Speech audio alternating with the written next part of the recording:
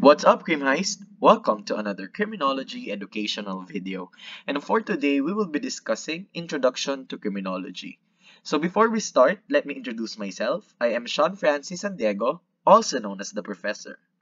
So just to give you um, a background or a disclaimer, so the Professor is just a screen name got from the movie or the Netflix series Money Heist.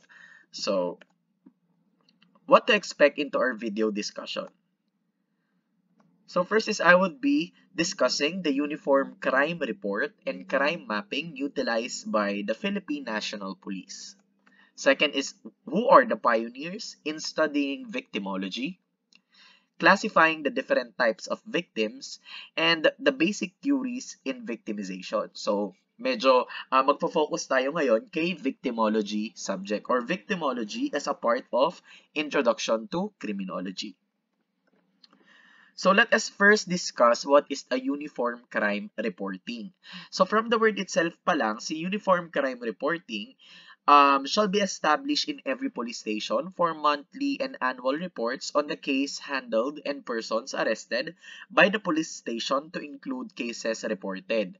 So si uniform crime reporting or uniform crime report, so from the word itself, uniform, ibig sabihin may iisang formula or may ini, uh, iisang pattern lang sila na sinusunod in each and every police station. And the uniform crime report can be classified monthly and annual. So pag sinabi nating annual, it is yearly. So merong monthly uniform crime report and merong annual or yearly uniform crime report. So ano ba yung mga uh, laman ng Uniform Crime Report. These reports shall follow the prescribed classification of offenses and the monthly statistical reports shall include the following. So first is the monthly report of cases handled by the police station. So ibig sabihin monthly uh, kino-compute or uh, tinitabular yung mga reported cases in each and every police station para malagay doon sa uniform crime report. Second is supplement on monthly report on cases handled by the police station. Third is report of male persons arrested. So, meron ding report kung ilang lalaki yung naaresto sa police station na yon. And also, for report of females person uh, female persons arrested. Now, let's go to, ayun. So, yung uniform crime report, so yung four reports na sinabi ko kanina, described shall be submitted to the NAPOLCOM or the National Police Commission. So, ibig sabihin, yung Uniform Crime Reporting or yung Uniform Crime Report ay ipapasa siya sa NAPOLCOM or National Police Commission every 15th of the month. So, ibig sabihin, kada quincenas. And the NAPOLCOM in return shall each furnish the NBI, the Chief Director General of the PNP. So, ibig sabihin, tatlong kopya yung ibibigay kay Napolcom. And then si Napolcom na ang bahalang mag-distribute kay NBI and kay Chief or Director General ng PNP or yung Chief PNP. Accuracy and promptness in the submission of these reports shall be the responsibility of the station commander. Let's go now to crime spot map. So si Crime Spot Map, it posts the location of murders, rapes, robberies, carnapping, and other major crimes of the locality. So, ibig sabihin naman, ito yung crime mapping kung saan naka-indicate or naka-classify doon kung ano sa uh, specific location na yun, yung talamak yung uh, specific offense. So, for example, in the City of Manila, may mapa ng City of Manila, and then naka-classify doon or naka-indicate doon na sa Tondo, talamak ang murder and rape. And then sa recto naman, talamak ang robbery. So, through that crime spot map, malalaman agad natin kung ano yung mga uh, high crime reported sa specific location na yun. Ano yung most commonly violated law doon sa specific location. Next is traffic spot map. So from the word itself, traffic spot map, it posts the motor vehicle and pedestrian accident which occur in the area. Kaya minsan may makikita tayo sa mga kalsada ng mga accident-prone area because uh, nakalagay ito sa traffic spot map na usually or frequently dito nangyayari yung mga vehicular accident. Next is crime mapping. It is the process of using a geographic information system to conduct spatial analysis of crime problems and other police-related issues. So, ibig sabihin, through the aid of crime mapping, mas matutulungan na ma-analyze ng mga law enforcement authorities kung paano masolusyonan yung mga crime problems upang makapagbuo sila ng mga crime prevention programs or crime prevention measures para ma-prevent yung uh, occurrence ng crime. So, uh, isa sa mga types ng crime mapping ay yung diniscuss ko kanina which is the crime spot map and the traffic spot map. So, ibig sabihin, pag nakita nila dito na dito sa certain location na ito, mas madaming krimen or crime-prone area ito, of course, they will, uh, uh, they can, rather, they can conduct or they can implement uh, high police visibility in the area. So, mas dadamihan nila ang deployment ng mga police officers in order uh, to prevent or it to create fear to the uh, would-be criminal para gumawa ng krimen. So in crime mapping, it serves three main functions within crime analysis. So yung una, it facilitates the visual and statistical analysis of the spatial nature of crime and other type of events.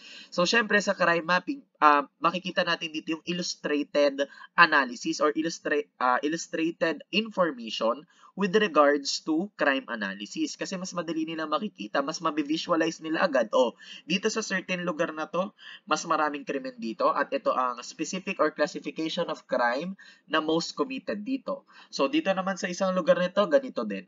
So, mas madali nilang masusolusyonan or ma-analyze yung crime problem and therefore, mas mabibigyan nila ng agarang solusyon. Second is, it allows the analyst to link unlike data sources together based on common geographic variables such as linking census information, school information, and crime data for a common area. So usually kasi in crime analysis, hindi lang dito tinitignan kung ano yung crime rate or yung number of crime reported in that certain area. Of course, there are a lot of variables or factors to be considered such as kung gaano ba kadami ang population dito, kung saan makukuha natin to sa census information. Malalaman din natin sa school information kung sino ba yung mga nakapag-aral or nag-aaral in that certain location. So malalaman natin dito sino yung uh, lugar na onti lang yung nag-aaral or yung, etong lugar na to maraming nag-aaral that can be linked into criminality. And the last one is, it provides the map that help to communicate analysis result. So, syempre sa crime mapping, masusuportahan din kung ano yung magiging produkto ng crime analysis.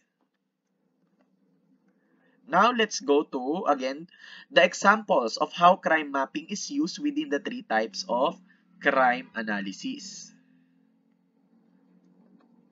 So, first is tactical crime analysis. So, dito sa tactical crime analysis, crime mapping is used to identify the immediate patterns for crimes, such as residential and commercial burglary, auto theft, and theft from vehicles. So, dito sa tactical crime analysis, di ba, pag na, na kinig natin or narinig natin yung salitang tactical, usually these are for short term or for immediate purposes. And usually si crime mapping, meron siyang tactical aspect kung saan makikita agad dito at its first glance kung ano yung location na most committed crime or mas uh, mataas ang crime reported and also kung ano yung specific or classified crimes na most committed doon sa certain location na yon. Second is strategic crime analysis. So sa strategic, it is a long-term application to analyze the relationship between criminality activity or criminal activity rather and indicators of disorders such as high volume of vacant property or disorder for uh, disorder calls for service. Dito kay strategic crime analysis, mas mataas na or mas malawak na yung factor na tinitignan niya.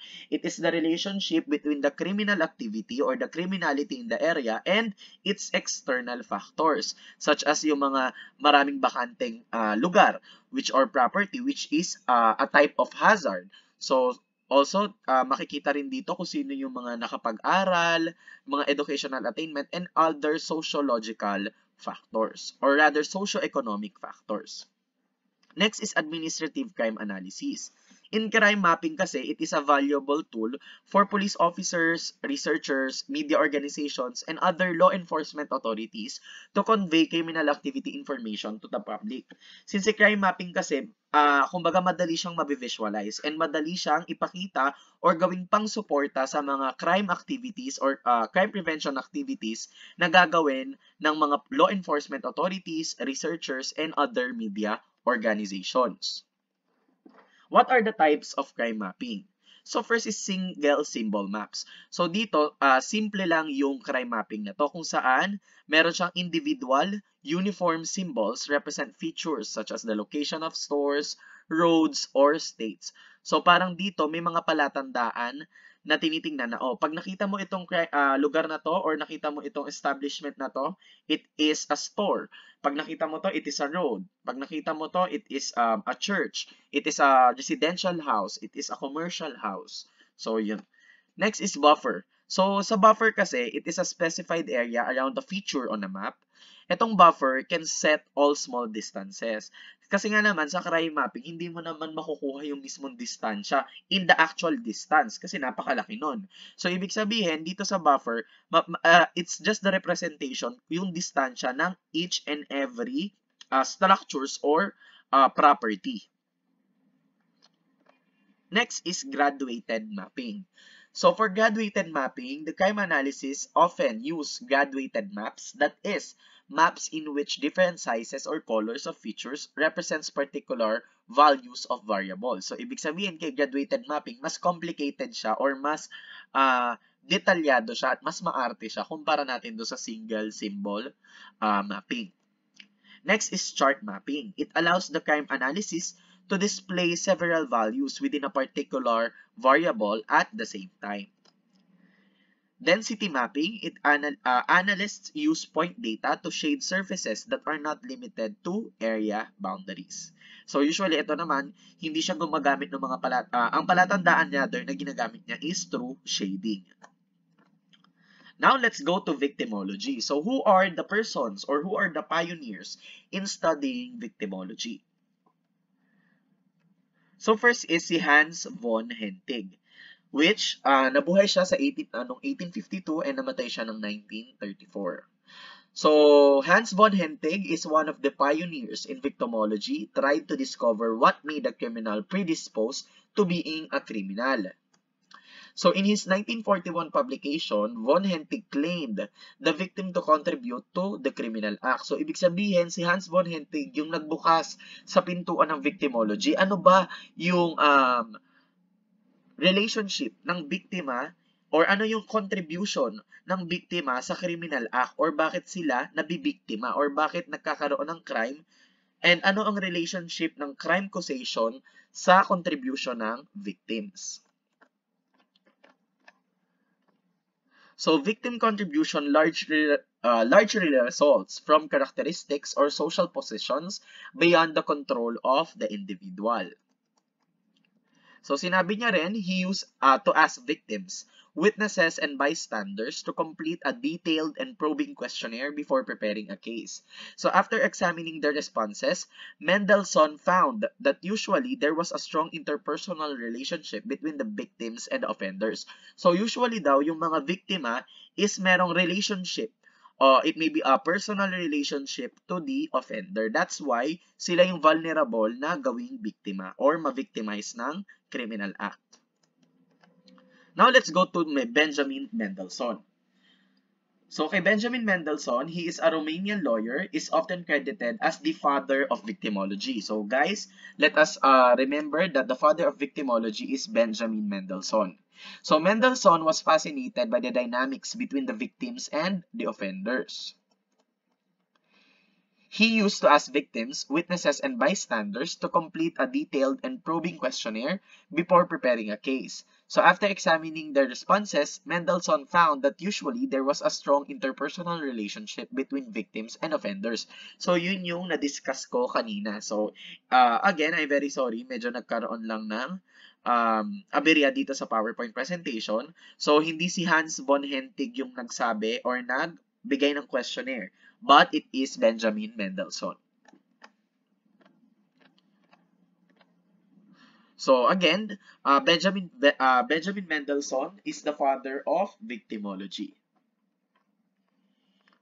Now let's go to Stephen Scaffer.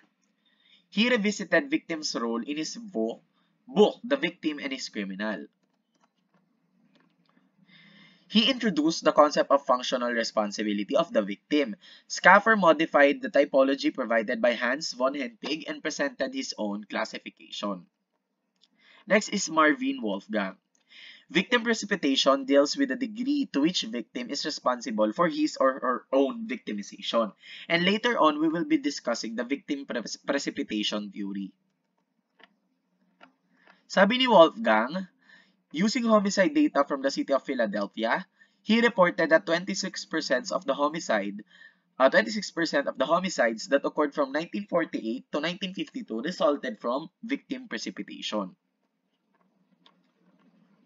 He defined victim-precipitated homicide as those instances in which the ultimate victim was the first in the homicide drama to use physical force or violence against his subsequent attacker. Kasi si victim precipitation theory, just to give you an overview, kasi mamaya di-discuss naman natin siya, ito yung parang pinoprovoke uh, ni uh, victim si uh, criminal or si perpetrator in uh, resulting to physical force or violence. So, due to his provocation act, so nagiging biktima siya ng krimen. So, may dalawa yan kasi the active precipitation and passive precipitation, which we will be discussing again later on.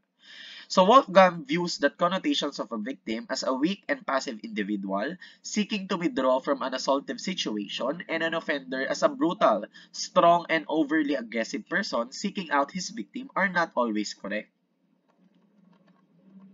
Now let's go to Meta Menachem Amir. So he examined the concept of victim precipitation through his empirical analysis of rape victims in 1971.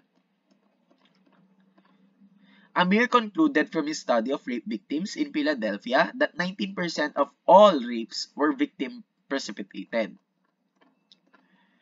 Amir viewed that the role played by the victims and their contribution of the perpetration of the offense becomes one of the main interests of the emerging discipline of victimology. So, sinasabi rito, the victims, uh, individuals who experience loss, injury, or hardship for any reason. So, crime victim above, uh, as a result of, uh, sabi ng criminologist, uh, criminologists ask why certain individuals become involved in lawbreaking while others do not. Well, for victimologists, it asks why individuals, household, and entities are targeted while others are not, and why over and over again. So, ibig sabihin, bakit daw uh, kasali ang individuals or bakit may target individuals, household, and entities lang na nabibiktima ng krimen at once na nabiktima sila, bakit paulit-ulit na sila lang din yung nabibiktima? Now let's go to our uh, uh, second to the last, which is the classifying the different types of victims. So what are the typologies of victims? So the first, uh, the general type is the young. So ito yung mga bata, the weak by virtue of age and immaturity. The female, often less physically powerful and easily dominated by males. The old, the incapable of physical defense and the common object of confidence scheme. The mentally defective, ito yung mga mentally incapable, those that are unable to think clearly. The immigrant, those that are unsure of the rules, conduct in the surrounding society. So, ito yung mga baguhan sa lugar. So, usually, hindi nila alam yung rules or hindi nila alam yung sistema sa lugar na pinuntahan nila. Therefore, mas madali silang mabiktima. The minorities. Racial prejudice may lead to victimization or unequal treatment by the agency of justice. So, minorities, ito yung grupo na oonti lang. Minority versus majority. Next is other types of victims. So ben, uh, Benjamin Mendelssohn, a European defense attorney, created his own classification of victim types. This includes the following six categories. First is the completely innocent victim, such as person is an ideal victim in popular perception. In this category, place person victimized while they are unconscious and the child victims. So ibig sabihin, the completely innocent victim, they are not aware of their surroundings and therefore, sila ay na madaling mabiktima because they caught unguarded guarded. Second, victims with only minor guilt and those victimized due to ignorance or due to katangahan. Number three, the victim who is just as guilty as the offender and the voluntary victim. Suicide cases are common to this category. Fourth, the victim more guilty than the offender. This category was described as containing persons who provoke the criminal or actively induce their own victimization. Ito yung tinatawag natin na victim precipitation theory. Next is the most guilty victim, who is guilty alone. An attacker killed by a would-be victim in the act defending themselves were placed into this category. So, ibig sabihin, namatay yung attacker or yung criminal due to the defensive act of the victim. The imaginary victim, those suffering from mental disorders or those victims due to extreme mental abnormalities. Now let's go to our last discussion, which is the theories of victimology. So first is yung victim precipitation theory. So sinasabi dito that people may actually initiate the confrontation that eventually leads to their injury or death. So ibig sabihin ito yung parang provocation First is active uh, precipitation. Occurs when victims act provocatively or use threats or fighting words or even attack first. So, ibig sabihin dito sa active precipitation, when we say active, ibig sabihin may ginawa kang action. May provocative aka directly to the uh, to the criminal that I rated them or provoked them para ikaw ay atakihin. So, usually gumamit ka ng threat or uh, threat or fighting words, gumamit ka ng mga bad words or ng mga insulting words, or e you even attack first or una mo siyang sinaktan. As to passive precipitation, of course, when the victim exhibits some personal characteristics that unknowingly either threatens or encourages the attacker.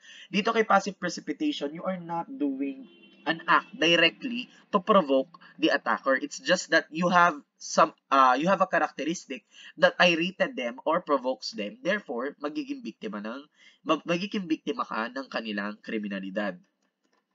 Now, let's go to the lifestyle theory. Crime is not a random occurrence, but rather a function of the victim's lifestyle.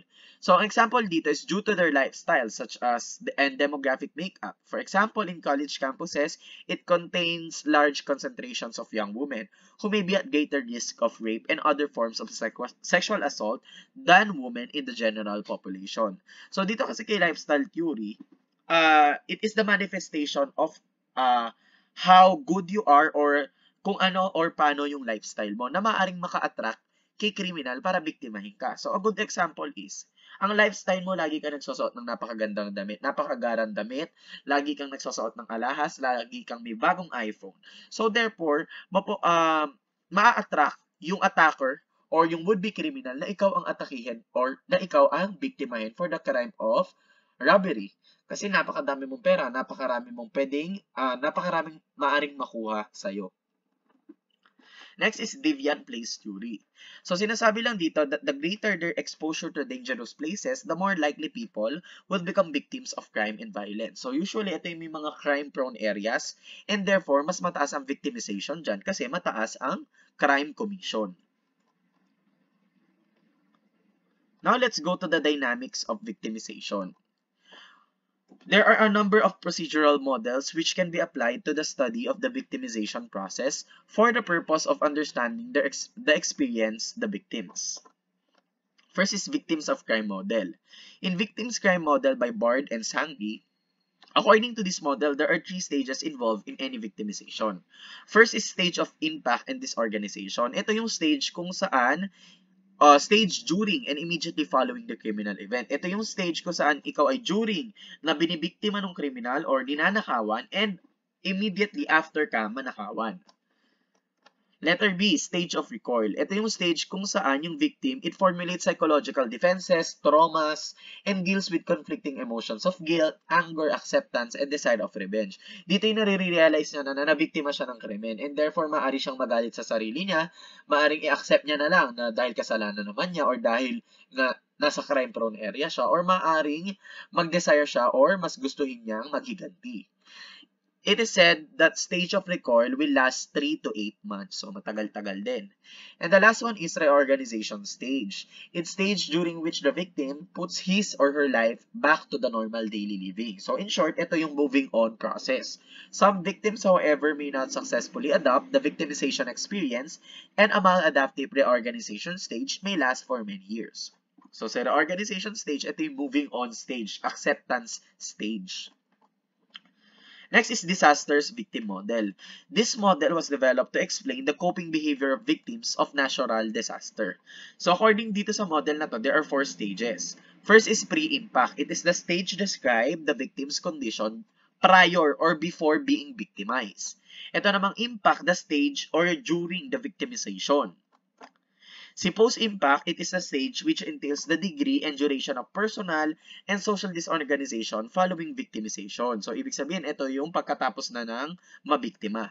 And the behavioral outcome, it is the stage that describes the victim's adjustment or ano na yung naging behavior niya prior or bago pala, after rather, after the victimization, ano yung uh, na-cope up or ano yung nagbago sa kanyang behavior due to its adjustment. Thank you very much and I do hope that you learned a lot from this video discussion with regards to uniform uh, uniformity of crime report, um, crime mapping, and also uh, regarding victimology. If you love this video, please don't forget to like, comment, share, and subscribe to the professor and hit the notification bell for you to be updated for my next video upload. So if you have any clarifications or questions, feel free to comment it in the comment section. So thank you very much and see you on my next vlog.